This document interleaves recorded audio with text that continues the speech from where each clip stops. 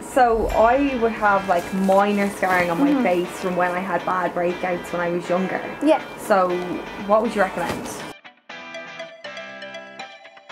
So for scars on the face, and we also forget we do have a body as well. So you can use the microneedling or the derma roller on our body for any scars. So you can use this to maintain it at home because it's say 0.5 so it's only working a little bit on the depth of the skin.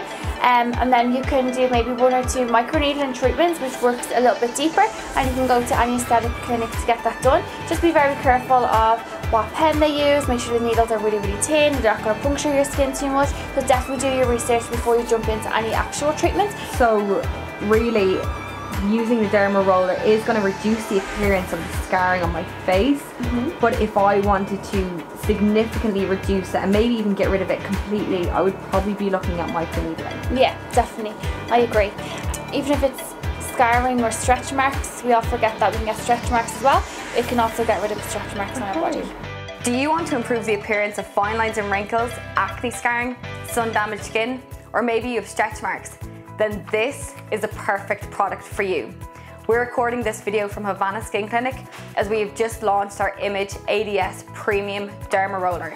It's an at-home microneedling device and we're selling it at a whopping 60% discount as when this product went to manufacture, unfortunately for us, there was a typo on the outside of the box but luckily for you, we're selling it at 60%.